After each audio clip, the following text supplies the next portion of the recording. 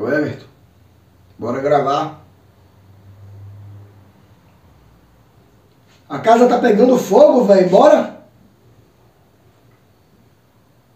Blitz voltou. Agora sim. Não confia no parceiro, né? O retorno de Bleach 2021.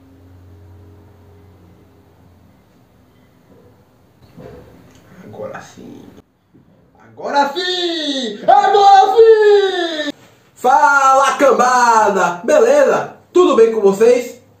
Cambada, hoje nós acordamos com uma notícia sensacional. O mangá de Bleach voltou. Não, não, não, não é pegadinha não. O mangá de Bleach voltou mesmo. Para comemorar o aniversário de 20 anos da obra, foi lançado ao mundo um novo capítulo do mangá. O nome do capítulo é Bleach No Brace from Hell, ou Sem Vidas no Inferno.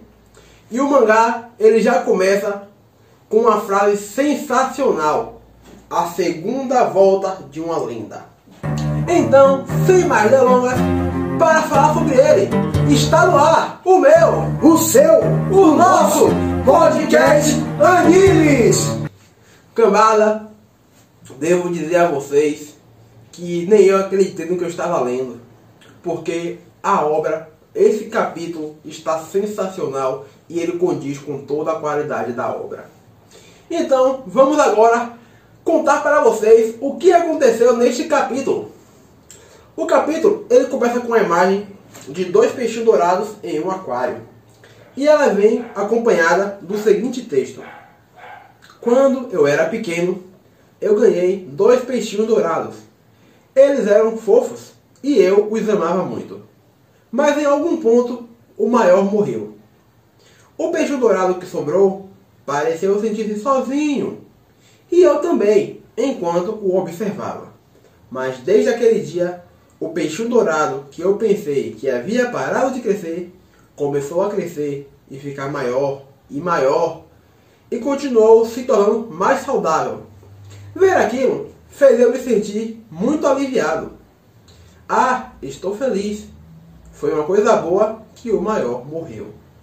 A partir daí, vemos Orihime olhando através do quarto o seu filho pela brecha da porta do quarto, o seu filho Kazui, e ele está com Kon. Ela está muito feliz, está achando que seu filho está dormindo. Mentira, moleque travesso, esse moleque de Japão que não gosta de dormir. Fingiu que estava dormindo, mas na verdade ele tinha uma ideia de ir salvar uma alma que estava perdida, uma alma que se sentia só. Kon até tenta impedi-lo. O incrível nessa cena é que vemos Kazui pulando pela janela e se transformando em um Shinigami automaticamente. Incrível. Como o Everton tinha falado no começo sobre o peixe, ele na transformação dele, não sei se é um poder Fullbringer ou da onde ele tirou esse poder, mas ele cria dois peixinhos em volta dele, em forma de espírito, não sei muito bem. E com ele monta em um ou melhor, ele sobe em um e Kon sobe no outro. Essa cena é muito hilária, pois Kon não precisava ter saído do quarto para ir atrás do menino. E ele informa Kon que Kon poderia simplesmente ter fingido que estava dormindo e falando para Orihime que não viu ele saindo. E. Droga, eu Com- não devia ter pensado nisso. Kon fica nervoso porque ele não pensou nessa ideia. Chegando lá, ele encontra, indo ao seu destino, ele encontra um espírito que se sentia muito solitário. Esse espírito estava muito triste, se sentia muito sozinho e fica feliz ao ver Kazui chegando. Kazui, ao vê-lo triste, já sabendo que estava se sentindo solitário, levou aparentemente para um lugar onde eles, ele abriu um portal que levava esse espírito para a sociedade das almas, dizendo que ele não iria ficar sozinho. Ou não. Depois eu vou explicar porque talvez esse portal não seja o portal da Sociedade das Almas, e sim um portal para um lugar muito menos agradável. E então, o jovem Kazui, ele faz um pequeno ritual que abre esse portal, leva ele para lá. Tá tudo bem, tá todo mundo aqui. A cena pula para Madarame e Kaku Madarame. E Kaku Madarame, ele está com Itika, a filha de Rukia. Ele está muito nervoso porque ela chegou atrasada e diz que ela está ficando mole, devagar, enferrujada. Ela vê uma abertura no meio da conversa e tenta atacá-lo. Outra cena totalmente hilária. Porque Ikako não está despreparado. Afinal de contas, era um discípulo de Zaraki. Não, o mais engraçado é que quando ela ataca ele, ela vem empolgada. Olha, uma abertura. Ele fala assim, um olhar de 3D. Tipo, não tenho nenhuma. Ikako tá tranquilo, tá tranquilo, né? Enfim, é... ele pergunta a ela se ela não vai nas expedições do mundo vivo e ela informa que só pode ir em longas pausas. E então, Ikako olha assim pra ela e fala: Eu aposto que você está doida para ver o filho do Ichigo. Ela fica muito embaraçada, igual vemos várias vezes em, em vários animes, né? Ela, aparentemente, o rostinho dela vermelho ali, como se estivesse envergonhada. O que já cria um novo hype aí pra um casal, né? Já que Bleach finalizou a obra com vários casais. Então vemos essa, essa, esse novo par romântico aí entre Ichika e Kazui. É. E o Bexiga chega e pergunta se ainda estão treinando. E o Mitika reclama, porque sua aluna acabara de chegar. E então, o Mitika lembra a Ikako sobre algo muito importante que aparentemente ele esqueceu, que é o Festival do Funeral das Almas. É um festival que acontece 12 anos após a morte de um capitão que morreu em batalha. Só que é um festival muito raro, né? Muito difícil de acontecer, afinal de contas, acho que é, talvez apenas o capitão que Zaraki tinha matado, né? É, que mostrou. Que mostrou, não lembro de nenhum outro capitão tendo, tendo sido morto em batalha. É. Renji está explicando isso para Ichigo através de um celular. É, galera, a propósito agora, o mundo das almas consegue se comunicar com o mundo dos vivos através de um celular. Por videochamada e tudo. Em relação aos capitães, talvez alguém pense, ah, mas já teve capitão que morreu antes. O Tolfer e o Gin, eles abandonaram os postos de capitães. Então, quando eles morreram, eles já não eram mais capitães da Soul Society. E talvez por isso não tenha sido falado nada sobre esse funeral para eles. Continuando, vemos também que, assim como Ikako, Renji nem sabia desse, desse ritual, né? Né?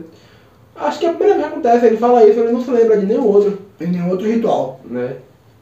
Ichigo, para resumir, Ichigo estava numa. Renji reclama, Ichigo estava com o Keigo, acho que não é algo tão importante É, assim. Comeu uma hora de ramen, que ele Não. abriu. Passou daí, Renji é, o convida para participar desse ritual. Afinal de contas, eles já tinham feito esse ritual para o general Yamamoto. E agora eles vão fazer o ritual para o Kitaki. E como Ichigo era conhecido de Ukitaki, então eles resolveram chamar Ichigo. Ichigo, Ichigo não é uma pessoa estranha, né? Ichigo derrotou tanta gente, Aizen mesmo. Então, Ichigo já faz, praticamente já faz parte da Sociedade das Almas. É um herói. É um herói da Sociedade das Almas, é.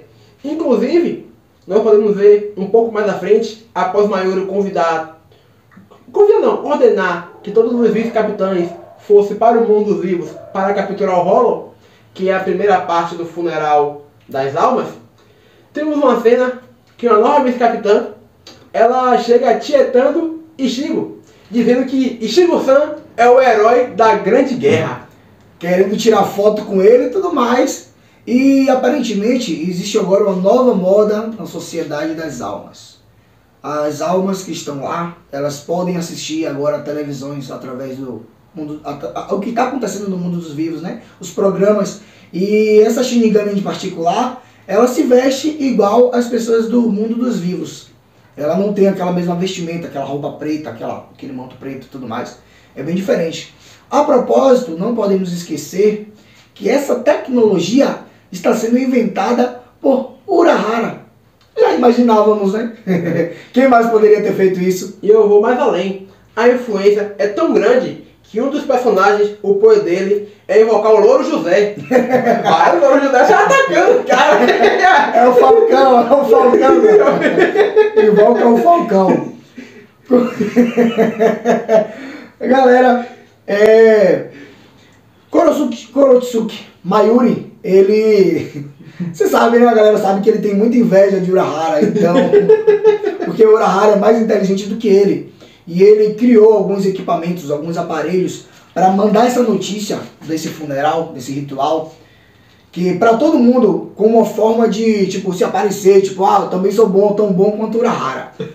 é, a filha de Rukia e de Renji, Ichika, ela ouve toda a conversa a respeito desse funeral, de que os vice-capitães, os vice-capitães terão que ir atrás de um rolo no mundo dos vivos para levar para o, o funeral, né? No caso, até a cova desse do capitão que morreu, que no caso agora será para o Kitaki. Será feito esse, esse funeral para o Kitaki. Ela ouvindo tudo isso, ela vai para o mundo dos vivos para poder assistir.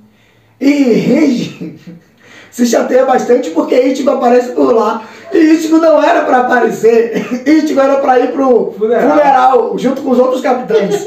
Ichigo aparece. E nessa conversa os dois, na discussão, chega a menina, que a Everton falou, a Shinigami, que ela se veste como as pessoas do mundo dos vivos. O nome dela é Yu Yu Yeah, Yu Yu Hara Yu Yu, o nome dela.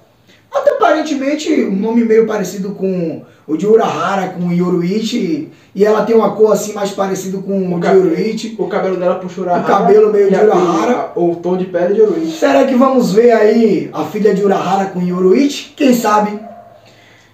Cara. Ela percebe, galera, que tem um rolo dentre os capitães, entre os vice-capitães, e nenhum dos vice-capitães havia percebido a presença desse rolo. Essa cena ela é espetacular. Nessa cena mostra Ichigo virando e com um único golpe ele destrói o rolo. Então os outros Shinganes se apresentam, eles aparecem e falam, questionam se aquilo é um rolo. E perguntam por que ninguém percebeu ele. sua. É. Alguém aqui tomou um golpe, eu não, não reconheço esse personagem. Sério mesmo, não reconheço. Deve ser algum dos novos que ainda não foi apresentado. E então, um grupo de Hollows saído diretamente do inferno aparece na Terra para atacar os Shinigamis. E concluindo, nesse momento que o Hollow tenta atacar, Renji ele foi em direção à sua filha para protegê-la. Vemos que de realmente pai, né? é o instinto de pai, né? É, é amoroso. É, esses Hollows que apareceram, vamos denominar de Hollows, afinal de contas não deram nome para eles ainda, eles não têm reaction, que eles saíram, eles aparentemente alguns, os que apareceram são fracos. É, todos os vice-capitães que estavam lá derrotaram os seus. Ichigo derrotou com muita facilidade, apesar de Ichigo realmente ser muito forte, mas foram derrotados com muita facilidade. Renji aparece. Ah, voltando. A menina, a Yuyahara Yuyu, ela usa um golpe. Eu acredito que seja um urso na imagem. Ela faz tipo. aparenta mesmo um ser um urso. Aparenta, não aparenta? É, joga aí pra galera ver. Vou, pronto, vou, vou colocar a imagem. E aparenta ser um urso, no qual ela destroça o, o- esse rolo. E uma parte bem interessante, se você puder, eu vou mostrar pra vocês, é que ela ataca as partes baixas de um desses rolos. Doeu até em mim. Rapaz, essa nova geração só tem o pelão. É, esse do Louro José mesmo. o do Falcão, ele é muito forte, ele é muito forte. Ele, ele, quando ele ataca, ele, que é o novo, ele ataca de uma forma brutal. Os falcões dele, quando estão atacando, deixa os, o, o, o Hollow praticamente somente ossos ali, da forma que ataca. E chegando, mitando, brilhando e aniquilando um dos Hollows, um dos personagens que no final da obra se tornou um dos meus personagens favoritos. The Walking Dead Kira.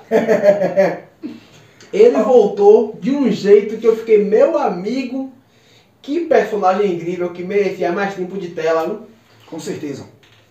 Eu já sou fã de Kira, eu sou suspeito, eu sou fã há muito tempo de Kira, desde o momento que ele matou aquele Hollow, que era tipo uma águia, ou que, que era um falcão. Sim, sim. que ele pega o abisque, coloca ali no pescoço e diz que é sem piedade. Sem piedade. Os fracos não pedem, os fracos, os, os fortes não pedem perdão e É, ah, eu já fiquei, eu vou dizer que ah, eu já me tornei fã de Kira. naquela cena eu não esperava essa atitude dele, porque não combinava. Nu- Nunca foi mostrado essa crueldade dele assim. Sim, E isso. é sem conversa. Atitude. Um dos personagens É. favoritos. E aí vem uma cena muito espetacular. Essa cena ela é incrível. E então um personagem aparece dizendo assim: Não seja tão apressado, Abarai Range. Eu queria ver a sua cara nesse dia propício. Tô me E arrupiando. então eu saí do meu caminho para ver, para vir aqui. E então Renji, ele olha assustado. Quem é você?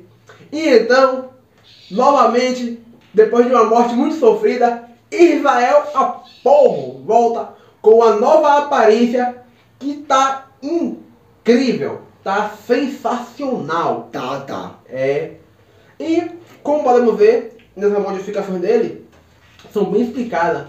Quando Renji questiona a sua aparência e pergunta se ele está morto. E então ele responde, eu caí no inferno. Eu acho que. Eu nem sei se o inferno foi pior que aquela morte dele que Mayuri É. deu nele, porque. Pra quem não lembra, Israel Apolo, ele, quem matou ele foi Mayuri. E a morte de Israel foi terrível. Ele ficava vendo a espada lentamente chegando até o corpo dele, é, através de um, de um veneno, de um de algo, que, uma poção que Mayuri criou e colocou nele. É. Aporro continua explicando.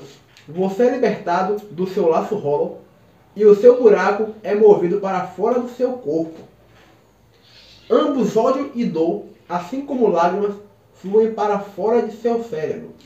O que explica, provavelmente explica, os chifres que esse laço hollow tem, pingando na ponta. Aparentemente, na imagem, vamos tentar mostrar, é, tem como se ele quando ele fala sobre o círculo que tinha no peito, aparece um círculo atrás dele, como se esse círculo estivesse desfazendo e em seguida aparece dois chifres nele, o que aparenta ser até um chifre de um bode. Eu até falei que o nome dele agora é Israel Aporro Bode. Ele pergunta para Renji quem é aquela coisa que está atrás dele, que é a filha dele, né? E então ele fala assim: Você não tem que me responder, já que o guarda do inferno vê tudo. E então ele, com muita raiva, fala que vai começar as coisas matando a filha de Renji, que imediatamente se move para mover a sua filha. E então, destruindo as correntes do inferno novamente, chega. Pra ele Para constar, Renji estava preso por correntes do inferno que Israel Aporro, aparentemente, né? Israel Aporro prendeu ele com essas correntes do inferno. E eu, eu só lembro de, da música Number One. Ah, Eu, Ichigo chega com o maior estilo novamente. Só para lembrar, o visual de Ichigo mudou. O visual de Ichigo mudou. Não tá mais do mesmo jeito, não. Afinal de contas, 12 anos se passaram. O cabelo dele tá totalmente diferente. Parece estar um pouco mais maduro, um pouco mais velho. 12 anos mais velho. 12 anos mais velho, então ficou bem legal, ficou bem legal, eu É. gostei bastante. Eu achei muito lindo, ficou espetacular essa cena. E Chico de fim das correntes, mitando demais. E uma parte agora bem engraçada, que é quando Ishigo manda Renji levar Chica para lugar seguro, e Israel Aporro fala assim, eu vou matar você, Koronaki Shigo. Ah, eu li, eu imaginei da seguinte forma, Israel Aporro vem voando, você tirou tudo que eu tinha? E Chico responde, eu nem sei quem é você. Ichigo não fazia a mínima ideia. É. Enquanto todos os, os arrancais sabiam quem era Ichigo, Ichigo não conhecia todos, temos que levar isso em conta, né? É. É, galera. E aqui a cena muda para a cena do funeral, onde era para ser ritual. E tem uma explicação bem interessante, porque quando começa a chover uma espécie de gosma preta, uma energia negra, escura, e a Soifun, ela fala que isso não é Reishi, não é, é, a energia caindo no reino das almas. E não volta para a atmosfera. E então, o Kyoraku, ele pega com sua espada e fala que isso é um desejo do inferno. Os capitães, sem saber o que era, que Oraco, por ser mais velho, ele explica que há muito tempo vem dito sobre isso. E ele pergunta se- os capitães podem ouvir uma superstição. Ele fala sobre o rei, que significa autoridade espiritual. É uma unidade que era usada como medida pelos nobres e representa a concentração de Reiatsu de uma pessoa, Sim. o Shinigami. Os membros da divisão têm média de rei de grau 20, ou seja, aparentemente quanto maior, mais fraco, né? Os vice-capitães variam entre um grau de 4 a 5, e os capitães consistem de 3 abaixo. O que acontece? O corpo do Shinigami ele é feito de reishi, e quando morre, os corpos dos Shinigamis eles retornam à Terra da Society. Mas as pessoas classificadas com grau 3 ou superior não podem fazer isso, porque sua concentração de reatos é muito alta. Que, como todo mundo sabe, os capitães eles são extremamente poderosos. E o comandante é mais poderoso ainda, né? É.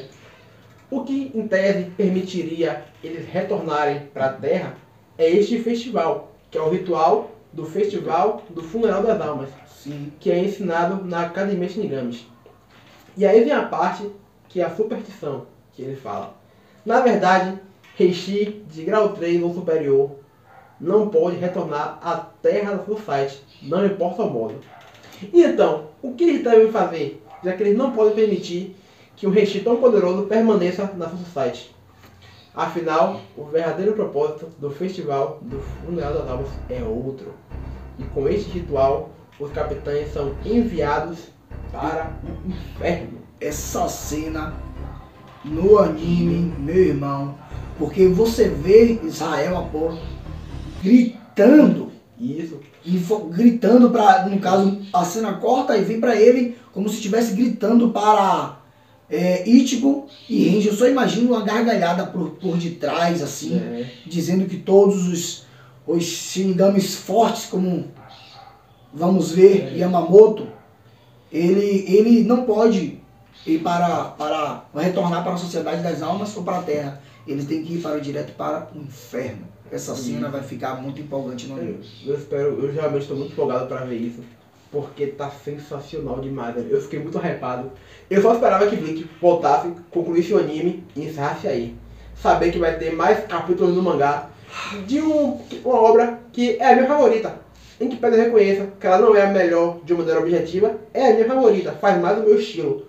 E eu estou muito empolgado com isso, velho. Israel Aporro diz isso pra. Israel Aporro. Memorizem, o nome dele agora é esse. Bode. Israel Aporro. Ele, então, ao falar, vê a cara de Ichigo de surpresa. Ichigo não acredita e pergunta o que, que ele está dizendo. E ele repete novamente, dizendo que o que ele está falando é verdade. Todos vão para o inferno. Depois disso, ele tenta atacar Ichigo.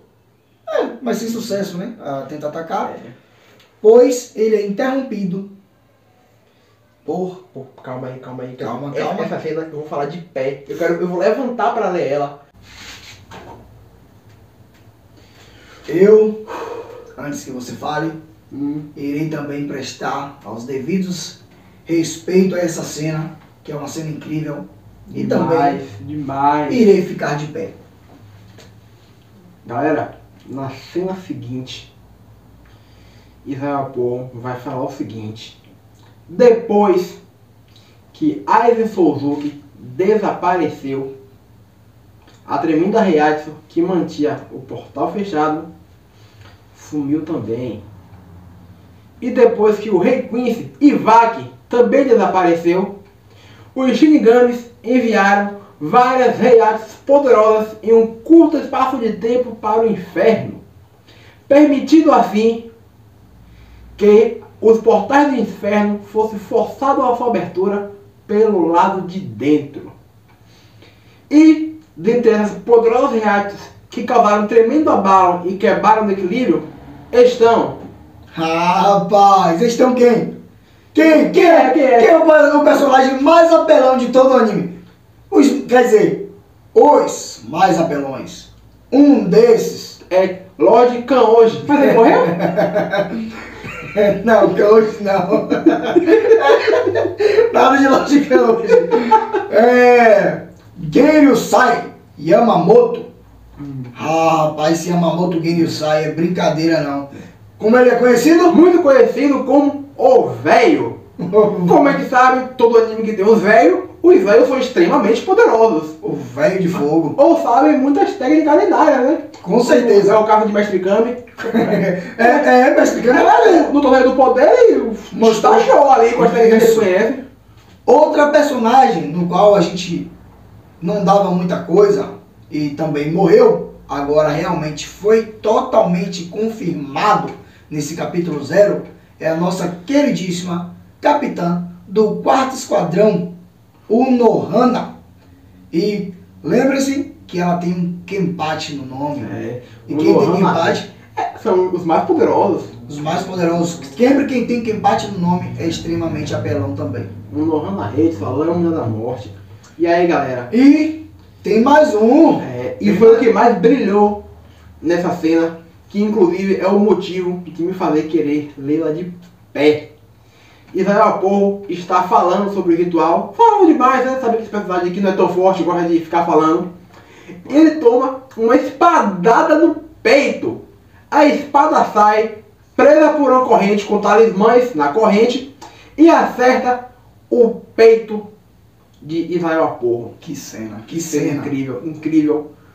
E essa cena, ela é pega muito na gente, porque a gente não viu muito do poder dele.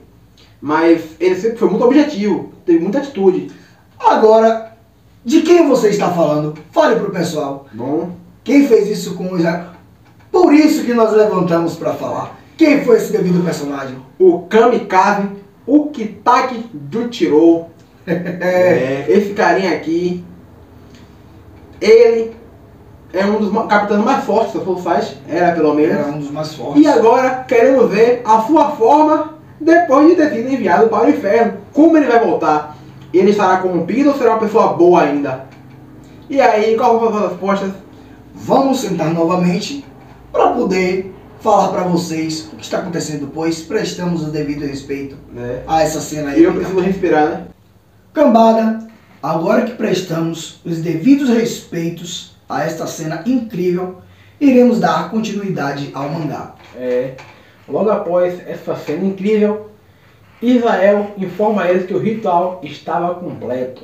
Afinal, eles mataram o Gol do Inferno na frente de Ukitake Jushiro. E ele avisa, eu voltarei. E indaga para Ichigo. Vocês, o inferno sempre esteve à sua volta. Vocês nunca questionaram porque as borboletas de um Shinigami têm inferno no nome? Para quem não sabe, as borboletas que acompanham os Shinigamis se chamam borboletas do inferno. É, galera, essa saga vai estar sensacional. E no final do capítulo vem assim, a tela final.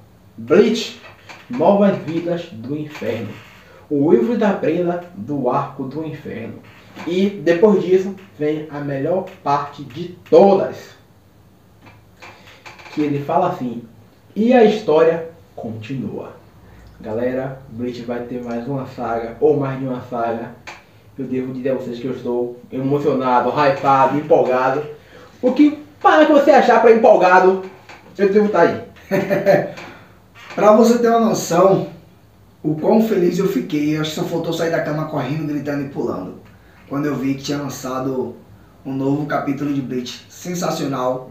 Titi Kubo conseguiu trazer uma luz, uma esperança para esse, esse anime que eu tanto gosto, que eu tanto amo e que eu queria ver lançando novamente. Eu tinha uma expectativa muito grande. Eu tinha ficado muito triste quando finalizou o mangá e aparentemente não ia ter mais saga nenhuma. E agora que retornou, eu acho que eu vejo uma luz no final do túnel e eu posso te garantir, estão deixando a gente sonhar. A gente tem que fazer uma resenha sobre isso, falar sobre esse mangá, expectativas, os poderes que não foram mostrados, a Bankai de Shibaishi, o pai de Tigo, que para quem não sabe, é um membro das quatro famílias nobres da Sereidei. É muita coisa, galera, é muita, Muita coisa. informação. Vamos teorizar em outros vídeos, vamos fazer alguns debates também ainda. Então, assim, encerraremos por aqui. Você tem mais alguma coisa a acrescentar? Não, não, vamos preparar já as teorias e especulações para o próximo vídeo que vai ficar sensacional. É isso aí, galera. Então, não esqueça de curtir, Compartilhar se inscrever no canal. E ativar o sininho. Galera, fa- é, coloca aí nos comentários o que vocês acharam desse capítulo. Só pra colocar mais um dedo aqui, tem que para não, não finalizar assim. Nós iremos fazer toda a história de Bleach, iremos fazer um resumo de cada saga e iremos postar no canal. Para quem gosta do conteúdo ou quem não conhece o anime ainda, vale a pena assistir. Não só o anime, mas os nossos vídeos também que iremos fazer esse resumo. Então, ficamos por aqui. Um abraço. Fica com Deus.